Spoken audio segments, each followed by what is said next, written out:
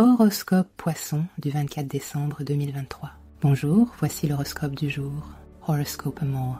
D'une manière générale, cette journée ne vous sera pas follement favorable côté vie à deux. Elle promet au moins des moments heureux, de la tendresse, du rêve. Vous devrez pourtant résister à la tentation si violente de ne faire qu'un avec votre bien-aimé, au risque de perdre votre identité propre dans l'aventure. Célibataire, préparez-vous à vivre un grand amour. Vous avez beau être indépendant, vous ne pourrez pas esquiver la flèche de Cupidon qui viendra vous frapper en plein cœur. Horoscope Argent. En raison des bons influx astraux, ce sera le moment idéal pour vous occuper du côté matériel de votre vie.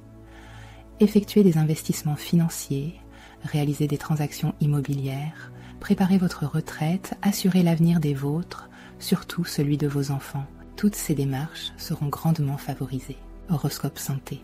Afin d'éliminer les toxines qui vous engorgent le foie et les bourrelets, essayez de jeûner un week-end par mois. Bien entendu, il vous faudra alors beaucoup boire, 2 litres d'eau par jour au minimum.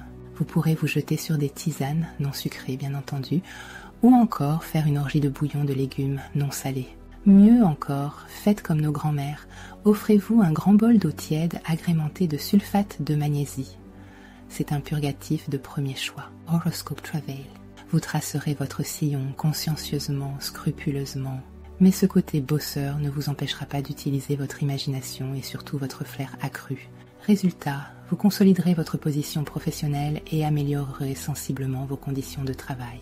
Horoscope famille ambiance très animée sous votre toit, surtout si vous êtes père ou mère de famille. Vos enfants seront en une forme superbe. À vous d'assumer et de canaliser votre petit monde. Avec les personnes plus âgées de votre entourage, la journée sera un peu moins facile. Horoscope vie sociale. Saturne en mauvaise position. Voilà qui laisse craindre un petit refroidissement amical. Ne dramatisez pas, c'est sûrement passager. D'autre part, vous prendrez des nouvelles de vos amis, vous répondrez aux messages, mais pour se voir, ce sera plus tard.